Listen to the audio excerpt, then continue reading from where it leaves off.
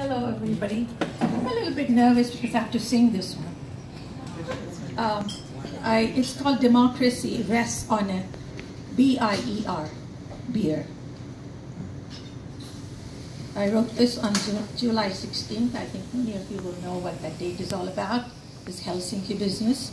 I couldn't control. It was all bottled up and it came out in the form of a song. Some of you might recognize the tune.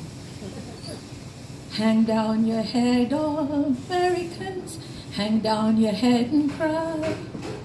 Hang down your head, true Americans, for we have been betrayed by 45. Lower the flag, oh USA. Lower the flag real low. Lower the flag in deep sorrow for democracy rests on a bier. We have no choice, oh loyal ones. We have no real choice.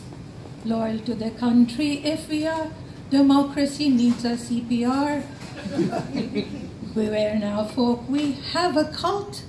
Its head office is in the White House. The sheep and lemmings are being led by David Osho Jones rolled into one.